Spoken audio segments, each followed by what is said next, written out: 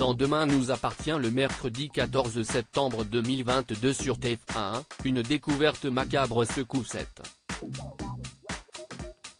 Timothée est toujours retenu en otage par Valentin, tandis que Sophie n'arrive pas à tourner la page de son histoire avec Nordine.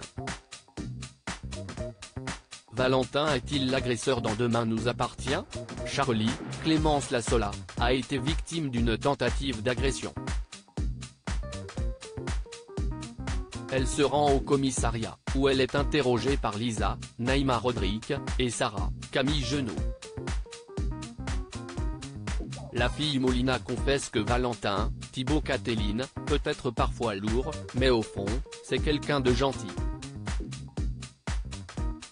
Selon elle, le colocataire de Gabriel, Martin Mille, n'est pas l'agresseur. Gabriel se prépare pour un entretien en vue d'un stage dans un cabinet d'avocat. Valentin s'empresse de lui donner des conseils. Gabriel a rendez-vous avec Raphaël, Jennifer Loret. Celle-ci se dit intéressée par son profil.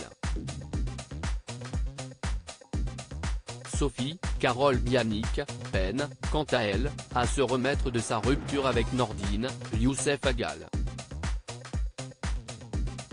Elle n'arrive pas à tourner la page de leur histoire. Manon, Louvia Bachelier, incite Nordine à mettre les choses au clair.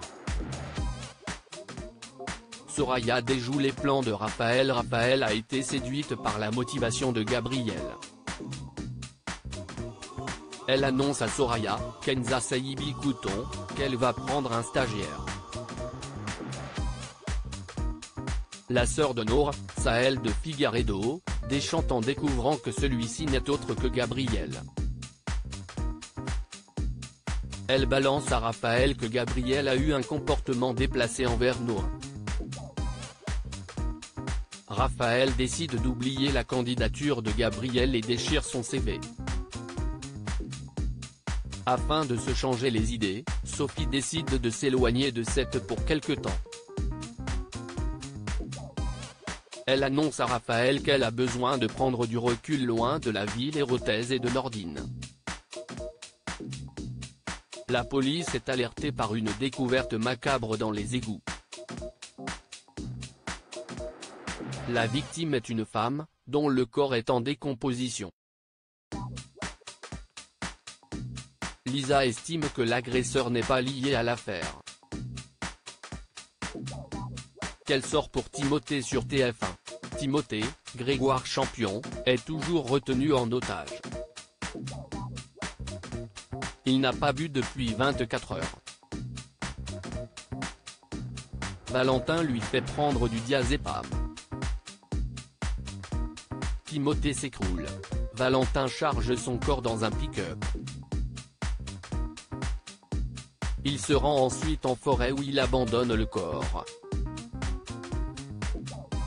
Le colocataire de Gabriel lâche à Timothée, merci pour le génie.